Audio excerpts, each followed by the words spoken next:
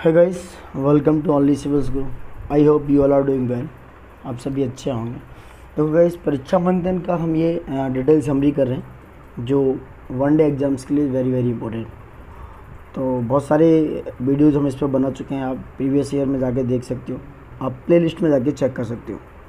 आप play list बनाई हुई है हमने, हिंदी परीक्षा मंथन के नाम से, कि हिंदी करंट अफेयर्स और परीक्षा मंथन। तो ये वन डे एग्ज़ाम्स के लिए इवन पीसीएस एग्ज़ाम्स के लिए भी बहुत बहुत बहुत इंपॉर्टेंट क्वेश्चन हैं इसमें से। हम वही टॉपिक्स बता रहे हैं जो इंपॉर्टेंट हैं और वही पॉइंट को नोट डाउन कर रहे हैं जो एग्ज़ाम्स में पूछे जा सकते हैं। ठीक है? तो स्टार्ट करते हैं, देखो। ये क्लाइमेट एडोप्शन समिट हुई है ट्वेंटी ट्वेंटी वन की। दो हज़ार इक्कीस की क्लाइमेट एडोप्शन समिट हुई है। ठीक है दोस्तों? 2020 में आपने देखा कि जलवायु संकट और तेज़ी से उभरा है। बहुत सारी चीज़ें, जैसे ऑस्ट्रेलिया, अमेजन भारत के कई हिस्सों में देखा गया कि जंगल में भीषण आग लगी थी। अमेजोन बचाओ जो ब्राज़ील की अमेजन है जो अमेजन वन है वहाँ पर, जिससे जलवायु परिवर्तन को लेकर जनवरी 2021 में, बहुत इंपॉर्टेंट है कि कहाँ पर? जनवरी 2021 में नीदरलैंड जो है नीदरलैंड एक देश है वहाँ पर वर्चुअल क्लाइमेट एडेप्शन समिट 2021 संपन्न हुई। और इस समय हमारे जो पीएम साहब हैं प्रधानमंत्री जी, उन्होंने भारत का प्रतिनिधित्व किया। ठीक है? क्लाइमेट एडोप्शन समिट 2021 वर्चुअली हुई और ये क्या हुई? ये नीदरलैंड में हुई दोस्तों। कहाँ हुई? नीदरलैंड में। ठीक है? देखिए प्रधानमंत्री मोदी जी ने कहा कि भारत के द्वारा जलवायु अनुकूल इनकी क्लाइमेट एडेप्टेशन के लिए जो प्रतिबद्धता हैं इनकी जो प्रॉब्लम्स क्रिएट करना उनको दोहराया गया। इसके साथ ही प्रधानमंत्री द्वारा भारत में वर्ष दो हज़ार इक्कीस के अंत में होने वाले आपदा रोधी संरचना पर तीसरे अंतर्राष्ट्रीय सम्मेलन में भाग लेने के लिए आमंत्रित किया गया। और नीदरलैंड द्वारा वर्चुअल तरीके से वर्चुअल का मतलब होता है दोस्तों जो कंप्यूटर के थ्रू यानी कि ऑनलाइन जो आ, मीटिंग होती हैं उसकी सम्मेलन व्याख्या की ठीक है दोस्तों, उसकी सारी अध्यक्षता की गई। उसकी क्या की?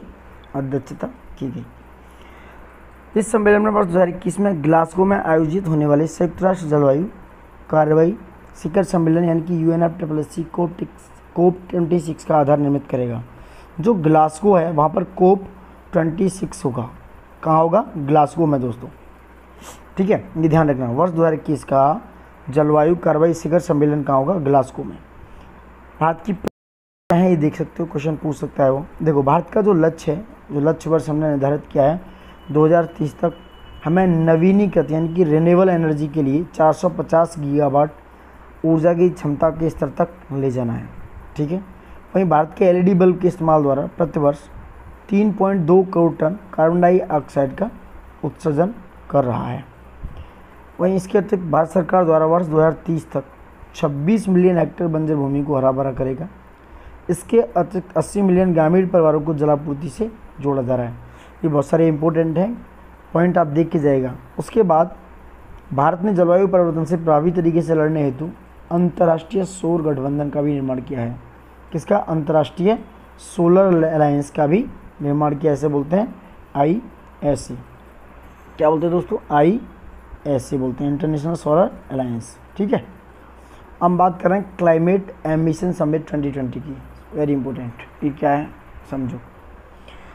बारह दिसंबर 2020 को जलवायु परिवर्तन से निपटने के लिए विभिन्न देशों द्वारा पेरिस जलवायु समझौते के तहत अपनाए गए उपायों की समीक्षा करने के लिए क्लाइमेट एम्बिशन समिट 2020 का आयोजन किया गया। किसका दोस्तों?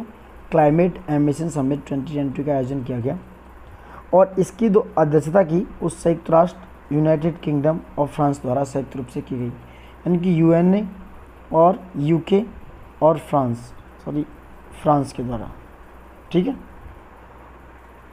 उसके बाद मुख्य बिंदु देखा जाए, अगर जलवायु परिवर्तन से निपटने के लिए वर्ष 2015 में पेरिस जलवायु समझौते पर हस्ताक्षर किए गए थे। कब? 2015 में। इस समझौते में वैश्विक ताप वृद्धि की औद्योगिक पूर्व के तापमान पर, उसकी तुलना में, उसके स्तर पर 1.5 डिग्री सी तक सीमित करने को लेकर प्रतिबद्धता व्यक्त की गई। यानी आपको जो टेम्परेचर लेवल है वो 1.5 डिग्री सी तक रखना है। अगर हम देखा जाए वैश्विक उत्सर्जन की बात करें ग्लोबल उत्सर्जन की बात करें तो चीन में global green house gas emission जो है, उत्सर्जन वो है उच्चतम थर्टी परसेंट है। कितना है दोस्तों? नंबर एक पर है चाइना जो थर्टी परसेंट के साथ नंबर वन पर है। जबकि अमेरिका की बात करें यूएसए की बात करें वो थर्टीन परसेंट के साथ दूसरे नंबर पर है थर्टीन पॉइंट फाइव परसेंट के साथ। वहीं यूरोपीय संघ दोस्तों, तीसरे नंबर पर है 8.7 परसेंट के योगदान के साथ, ठीक है? इंडिया में उत्सर्जन की स्थिति को अगर वर्तमान में देखा जाए तो 2020 के शुरुआत में यूएनओ की एक रिपोर्ट में कहा गया कि भारत का प्रति व्यक्ति उत्सर्जन वैश्विक औसत से 60 परसेंट कम है। वहीं 2019 में देश में उत्सर्जन कितना? 1.4 परसेंट बढ़ा है। जो पिछले दशक के प्रति वर्ष 3.3 परसेंट के औसत से बहुत कम है। ठीक है? भारत के प्रयास की बात करें दोस्तों, भारत ने वर्ष 2005 की तुलना में कार्बन उत्सर्जन को 21 परसेंट तक कम किया है। अगर 2005 के लेवल से देखें 2005 के स्तर से तो कितना? 21 परसेंट उसको कम किया गया है। इसकी सौर ऊर्जा क्षमता वर्ष 2014 के मुकाबले तैंतीस दशमलव तीन सात गीगावाट से बढ़कर वर्ष 2022 में कितनी हो गई है? छत्तीस गीगावाट। 2020 में कितनी हो गई दोस्तों? 36 गीगावाट हो गई है। अच्छा ऊर्जा क्षमता के मामले में भारत ने वर्ष 2030 तक 450 गीगावाट तक के ऊर्जा उत्पादन के लक्ष्य निर्धारित किया है। 2030 तक कितना लक्ष्य रखा है? 450 गीगावाट। ठीक है? हम आगे बात करते हैं दोस्तों। जंगलों में लगती आग, आप देख सकते हो कहाँ कहाँ लगी थी। नॉट ए वेरी इंपॉर्टेंट टिप्पणियाँ देखते हैं अब क्या है। ये इंपॉर्टेंट है एग्ज़ाम परस्पेक्टिव से। देखो। राष्ट्रीय समुद्री कछुआ कछुआ कार्योजन की योजना हुई 2021 से 26 दोस्तों। ये जो है 2021 से 26 के लिए है। इसका उद्देश्य है समुद्री जीवों के संरक्षण के लिए केंद्रीय पर्यावरण, वन एवं जलवायु मंत्रालय ने 28 जनवरी 2021 को देश की राजधानी नई दिल्ली में राष्ट्रीय समुद्री कछुआ कार्य योजना National Marine Turtle Action Plan two 2021 to 26 पर दिशा निर्देश जारी किए।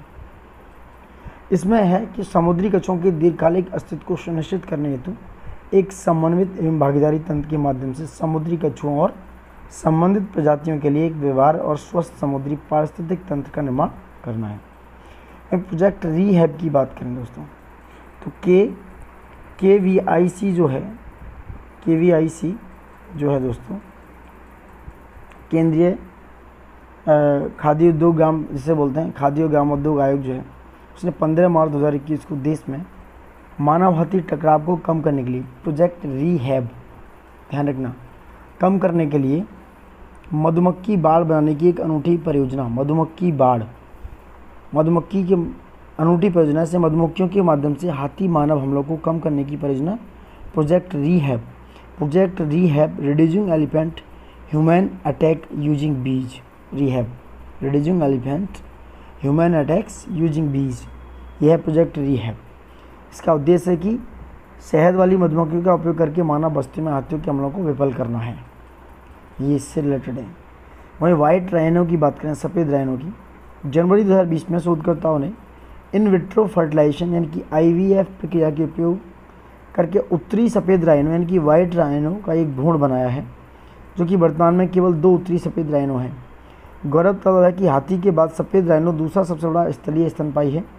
इसकी आनुवंशिक रूप से भिन्न दो उप प्रजातियों यानी कि उत्तरी सफ़ेद राइनो और दक्षिणी सफ़ेद राइनो मौजूद हैं और यह अफ्रीकी महाद्वीप में दो अलग क्षेत्रों में पाए जाते हैं।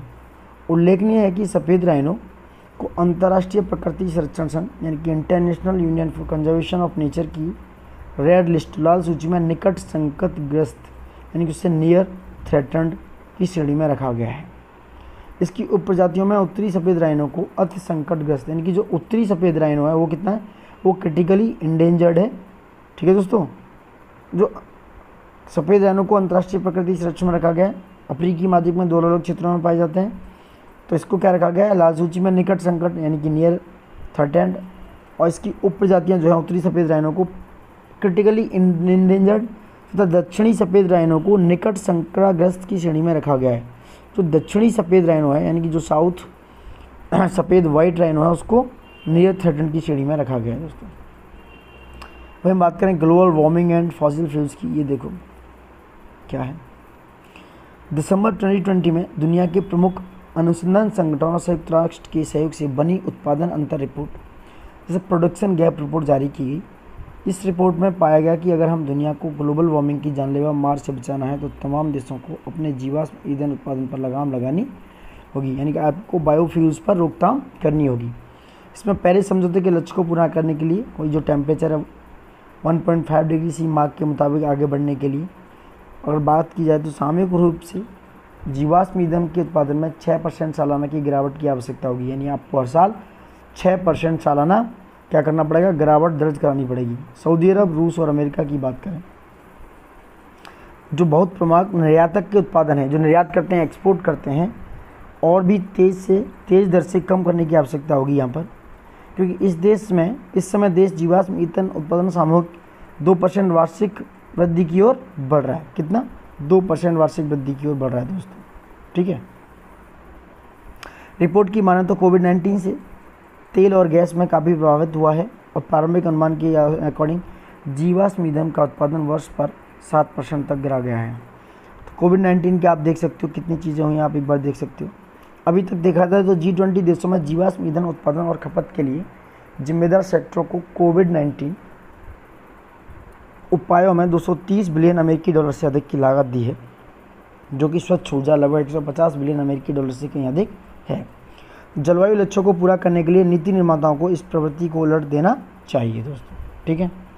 अब न्यूजीलैंड में जलवायु आपातकाल ये क्या है? Climate emergency in New Zealand 2 दिसंबर 2020 को न्यूजीलैंड सरकार ने जलवायु परिवर्तन और ग्लोबल वार्मिंग के घातक प्रभाव को आकलन करने के बाद देश में जलवायु आपातकाल की घोषणा की। जलवायु आपातकाल क्या है? एक ऐसी स्थिति को व्यंगत करता है इंडिकेट करता है, जिसमें जलवायु परिवर्तन से होने वाले या संभावित पर्यावरणीय न्यूनतम क्षति को कम करने या रोकने के लिए तत्काल कार्रवाई की आवश्यकता होती है। क्लाइमेट इमरजेंसी को ऑक्सफोर्ड डिक्शनरी ने 2019 में विश्व का दूसरा सबसे लोकप्रिय शब्द माना है। किसको? क्लाइमेट इमरजेंसी को। वहीं ग्रीन पीस न्यूजीलैंड के द्वारा न्यूजीलैंड सरकार से जलवायु आपातकाल घोषित करने की मांग की गई थी।